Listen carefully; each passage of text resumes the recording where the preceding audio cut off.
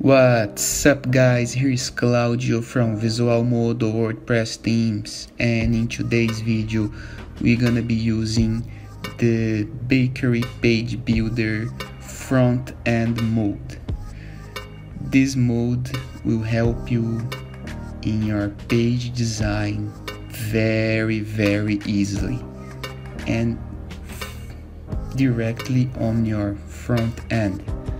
First go to your WordPress dashboard, pages, add new,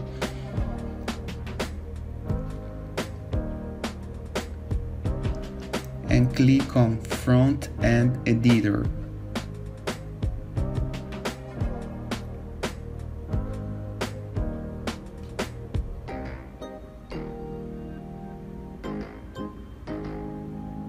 Now you will be able to see the page edits results immediately.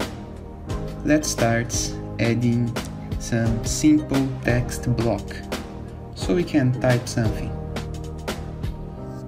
Hit the Save Change button and simply close the tab.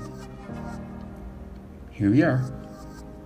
Now let's add some column layout edit. Row column, let's change layout, and select two columns, one half and one half. Let's drag this and drop into the right section and add to the left section a single image. Click on the plus button to select some image from your WordPress media library.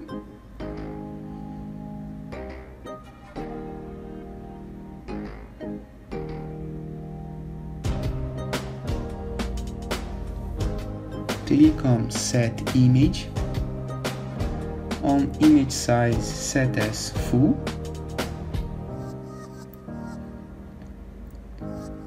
Save changes.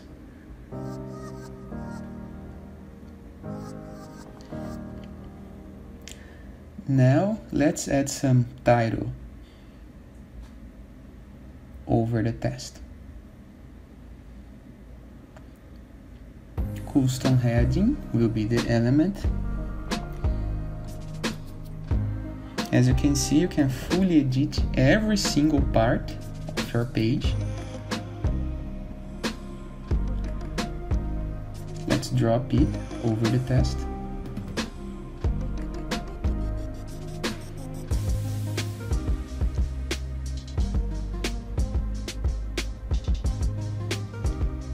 Now, let me add some extra things like a Facebook like button and add a subsection so you can make more columns into this column. As a row element, change layout and select three columns. Now, let me drop it into the first column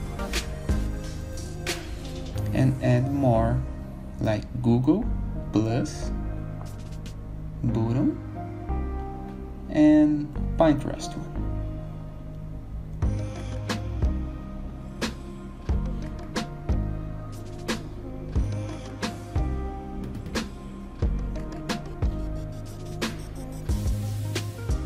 Let me add some space over the image 40 pixels and 40 pixels over here too.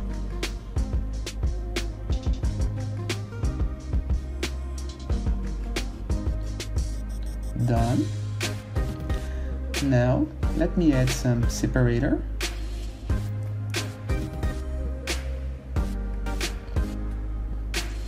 Ten percent Uh, of the screen. Align to left and drop it under the text title. All done. Very simple to design your layout and also test it in mobile resolutions.